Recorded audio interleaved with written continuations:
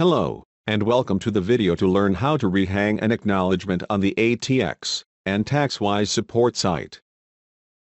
Go to the ATX or TaxWise Solution Center and click Login.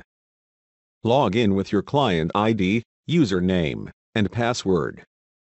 On the ATX support site home page, click e-file status tool.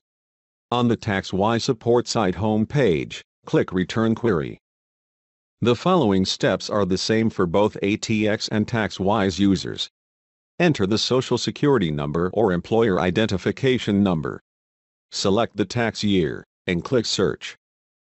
The taxpayer or company name will be displayed with the most recent e-file received at the top of the list. The most recent e-file transmitted has not yet received the acknowledgement so there is not a rehang hyperlink available. In this example, I will click Rehang for the most recent US 1040 acknowledgement. You will then see this message displayed at the top of the screen, that the acknowledgement was rehung successfully, and will be available within 20 minutes. Thank you for watching the video on how to rehang an acknowledgement on the ATX and TaxWise support site.